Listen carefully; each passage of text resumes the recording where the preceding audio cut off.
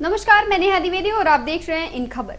Bollywood actress Ada Sharma के film the Kerala story इन दिनों सुर्खियों में बनी हुई है।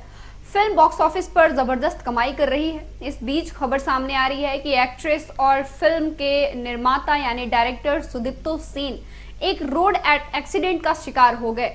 अब इस पर अदा शर्मा ने ट्वीट किया है। द केरला स्टोरी की एक्ट्रेस अदा शर्मा कथित तौर पर हादसे का शिकार हो गई हैं। सोशल मीडिया पर उनके एक्सीडेंट की खबर आग की तरह फैल गई है। उनके फैंस एक्ट्रेस के सेहत के बारे में जानना चाहते हैं, जिसके बाद उन्हें सोशल मीडिया पर एक पोस्ट के ज़रिए अपनी हालात की जानकारी दी है।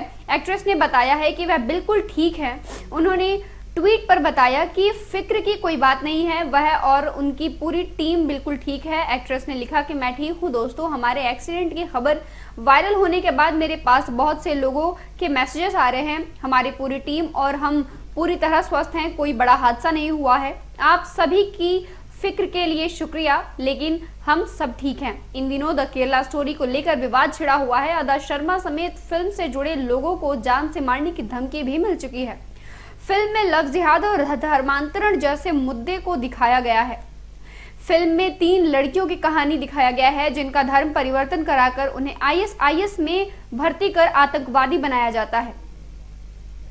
फ़िल्म के ज़रिए यह दावा किया जा रहा है कि द केरल से गायब हुई बत्तीस हज़ार लड़कियों का धर्मांतरण किया गया है और उनको सीरिया भेजकर आतंकी गतिविधियों में शामिल किया गया था।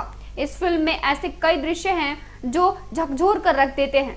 फ़िल्म राजनीतिक दलों और समूहों के एक वर्ग से विरोध का सामान कर रही है। आपको बता दें कि विरोध का सामना कर रही है। उनका दावा है कि फ़िल्म फैक्ट्स पर आधारित नहीं है और मुस्लिम समुदाय के खिलाफ नफरत का बढ़ावा देती है।